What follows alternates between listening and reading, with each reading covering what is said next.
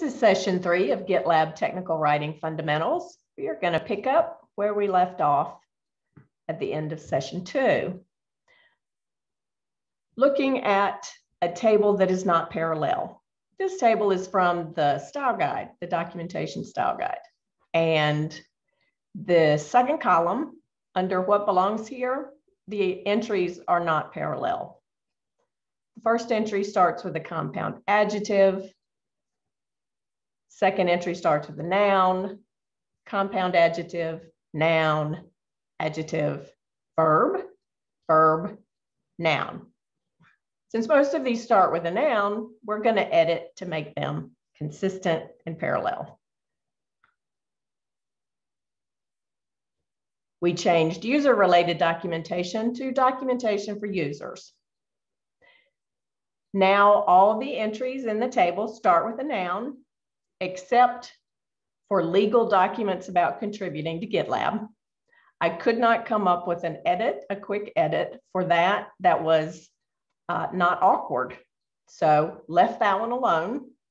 I changed the heading, what belongs here, to contents. And because these change, it's better than it was, we do iterative changes, went ahead and merged. Documentation also needs to avoid promises that a task is easy or simple because it might not be to the person who is reading the documentation and attempting to perform the task.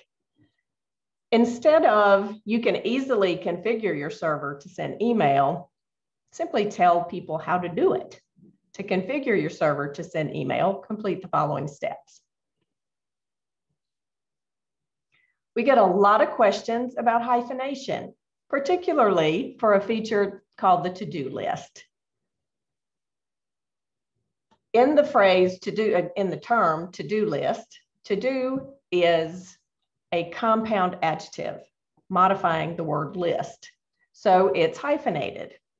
If you were to say, I have a to-do, that's a noun, and we don't hyphenate nouns in that form.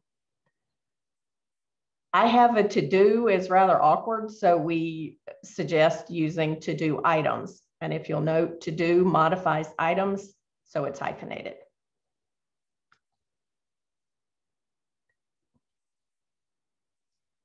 The documentation style guide for GitLab contains almost all of the information that we have gone over in these sessions. And there is a link here so you can go check it out. Some other high level suggestions are use we for recommendations, not GitLab recommends, but we recommend. It's okay to use contractions. We use they as a singular pronoun because that's inclusive language. An example of that is Pat needs help. They can't do it alone. And we avoid wordiness. We edit for wordiness. If a sentence has more than 25 words, it's too long. The fastest way to make a topic more readable is to write in shorter sentences. So how do we test for all of the things that we have talked about? We use linting.